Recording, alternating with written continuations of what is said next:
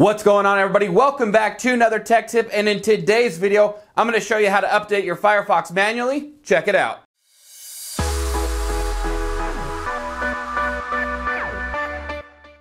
Alright guys, now that we're over at the computer, what we're going to do is we're going to open up Firefox and you're going to do the same whether you want to do it through your desktop icon, your taskbar, or your start menu. And I did specifically install an old version. I installed 61.0.2 just so you can kind of see. You may have to rewind the video just a little bit if you do miss where the update actually takes place just because Firefox does update very quickly.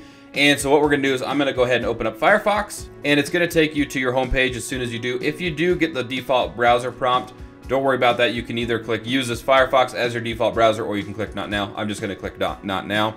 But you're going to want to pay attention to the top right corner. You're going to want to click on the three lines that are parallel to each other. And this is going to open up a menu. This is going to be your settings menu. Come on down to help, left click, and it's going to give you another little menu and you're going to want to click on about Firefox. Now as soon as I click this about Firefox, a box is going to pop up in the middle of the screen. It's going to download the update and then it's going to tell me to restart Firefox to apply the update. So again, this is the part where you may need to rewind the, the Firefox video or rewind this video in order for you to actually see that update take place. So I'm going to left click it now and looks like it already did the update. And so what you're going to want to do right where this restart to update Firefox button is, is going to be a basically a progress bar and it's going to download the update. Then it's going to pop up restart to update Firefox left click on that.